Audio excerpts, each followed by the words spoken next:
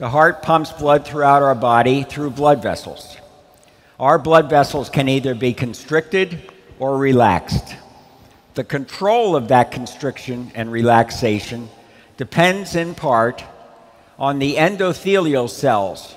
But endothelial cells line the inside of our blood vessels, and they talk to the smooth muscle cells that make up the vessels.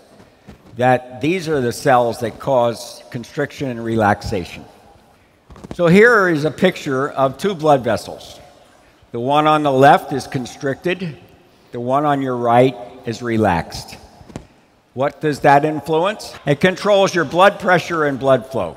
There are a number of compounds basically which can generate, but the most significant compound which generates blood vessel dilatation from the endothelial cells, which can make the vessels grow bigger so the blood can flow, is nitric oxide.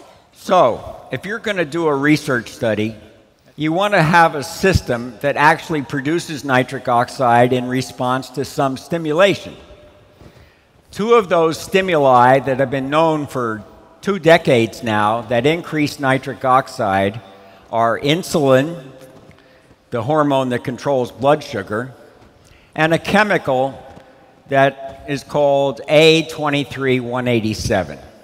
Now, the group that is doing these studies in New Zealand took and measured nitric oxide production by cells at three hours. So you take cells, you pour in a little nothing or insulin and A23 187, and you see what happens after three hours. Now, this is remarkable. This is remarkable what we see, we, the chart which we see right here. Tom, go ahead. Tiny amounts of insulin and A2387 did produce a stimulation of nitric oxide production at three hours. When the group in New Zealand took Nitro Xtreme three different samples pulled out of our production line and sent to New Zealand, three different, distinctly different samples, each produced extraordinary amounts of nitric oxide at three hours. You guys are sitting on a gold mine, a gold mine.